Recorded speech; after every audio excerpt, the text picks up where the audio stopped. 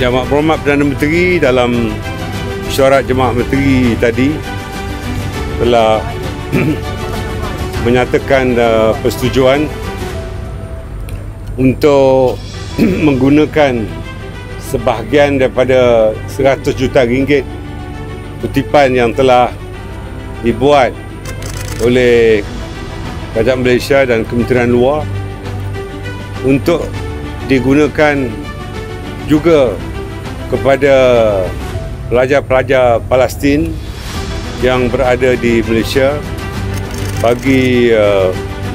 membiayai sebahagian daripada kos hari hidup mereka uh, kos uh, pengajian dan uh, beberapa kos lain yang terlibat